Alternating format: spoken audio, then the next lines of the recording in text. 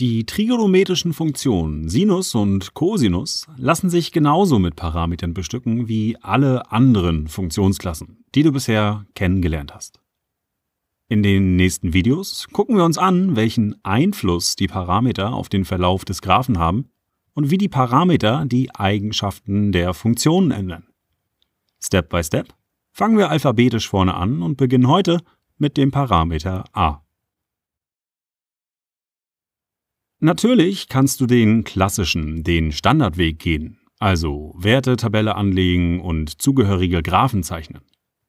Du gibst dir beispielsweise den Parameterwert a ist gleich 2 vor und berechnest an ein paar ausgewählten Stellen die zugehörigen Funktionswerte.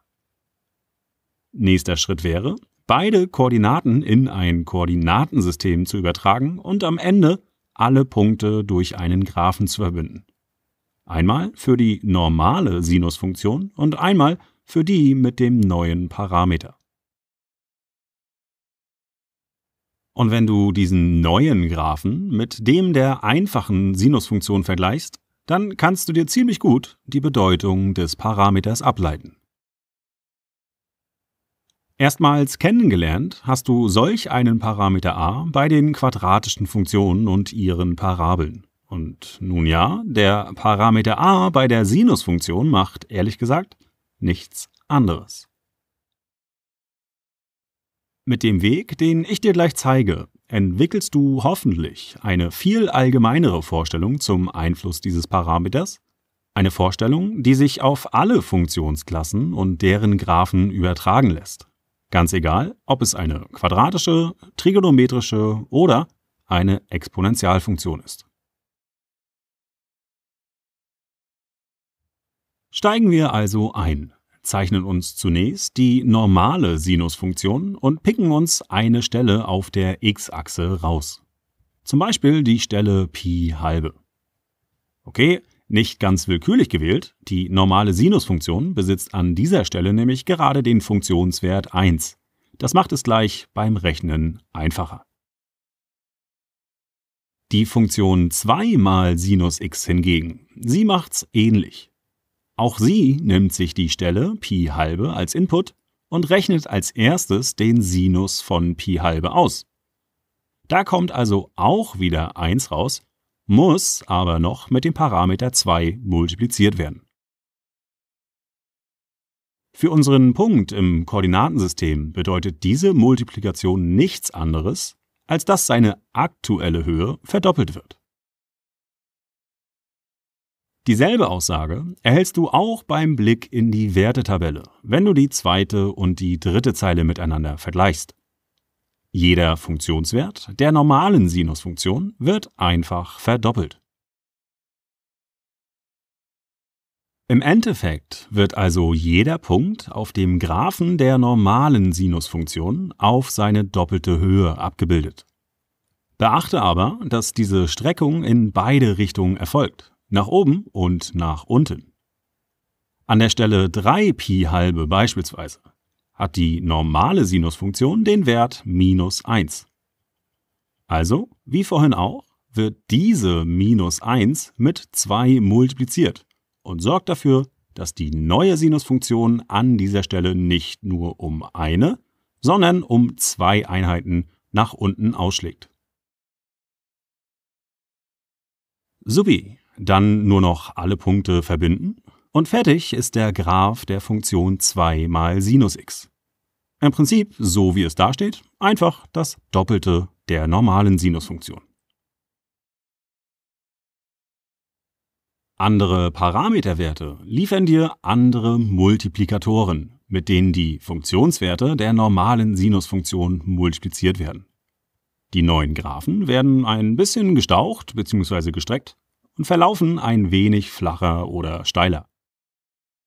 Was genau in welchem Fall passiert, das bekommen wir mit einer kleinen Fallunterscheidung heraus.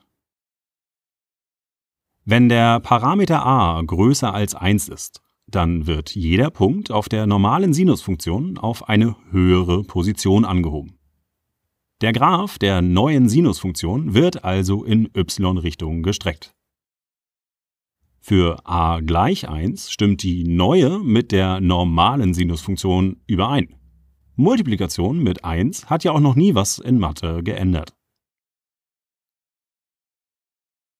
Wenn a zwischen 0 und 1 liegt, dann wird die Sinusfunktion nicht gestreckt, sondern gestaucht.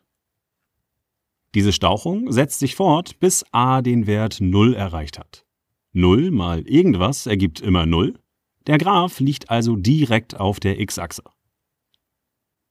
Wenn a negativ ist, kommt zu der Streckung oder Stauchung, die man beim positiven Wert hätte, noch eine zusätzliche Spiegelung hinzu. Macht total Sinn, denn die Punkte auf der normalen Sinusfunktion werden durch die 0,5 zunächst auf die halbe Höhe gesetzt. Und das Minuszeichen, das kehrt letztendlich die Richtung um. Spiegelung an der x-Achse. Ganz analog erhältst du für a ist gleich minus 2 eine Streckung auf das Doppelte, die durch das Minuszeichen nach unten geklappt wird.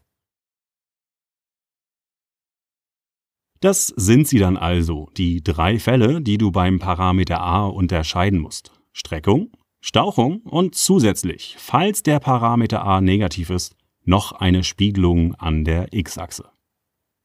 Wie du das bei den klassischen Übungsaufgaben, also dem Ablesen von Funktionsgleichungen oder dem Zeichnen von Graphen nutzen kannst, zeige ich dir im nächsten Video.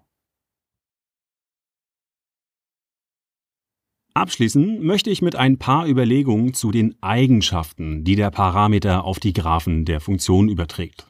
Und dabei gibt es einige, die sich im Vergleich zur normalen Sinusfunktion überhaupt nicht ändern. Zum Beispiel die Nullstellen der Funktion.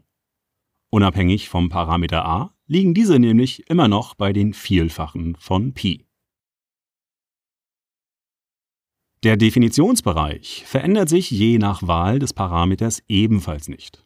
Du darfst weiterhin alle Stellen in deine Sinusfunktion einsetzen ohne dabei auf einen mathematischen Fehler zu stoßen. x ist also weiterhin ein Element der reellen Zahlen. Genauso unverändert bleibt auch die Periode der Funktion, diese kleinstmögliche Zahl, nach der sich die Funktionswerte wiederholen. Bei uns 2pi. Und natürlich hängt das damit zusammen, dass der Parameter a den Graphen in y-Richtung streckt oder staucht und eben nicht in x-Richtung. Letzteres gibt's natürlich auch und falls du wissen möchtest, wie das funktioniert, schaue doch einfach mal in diesem Video hier oben vorbei. Wir halten beim Parameter a aber fest, durch die Streckung und Stauchung in y-Richtung verändert sich die Periode nicht und bleibt bei 2pi.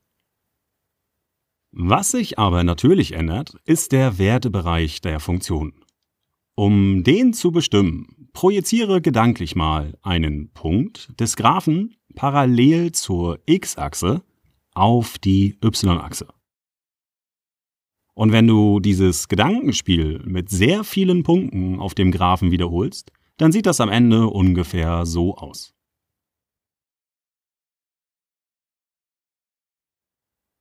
Jetzt musst du nur noch ablesen, wo der größte Wert liegt und wo der kleinste. Die normale Sinusfunktion besitzt y-Werte zwischen plus und minus 1. Das heißt quasi, dass der Graph von so einem Rechteck vollständig eingeschlossen wird. Unter dem Einfluss des Parameters aber verändern sich die Höhe dieses Rechtecks und damit auch der Wertebereich der Funktion. Hier im Beispiel liegen die y-Werte also im Bereich der reellen Zahlen, okay, sind aber nach unten durch minus 2 und nach oben durch plus 2 begrenzt. Und das war der Parameter a bei der Sinusfunktion. Wenn du magst, sehen wir uns im nächsten kurzen Video wieder. Dort lernst du, wie man die Graphen solcher Sinusfunktionen ganz einfach zeichnet und was man beim Ablesen von Funktionsgleichungen alles beachten muss.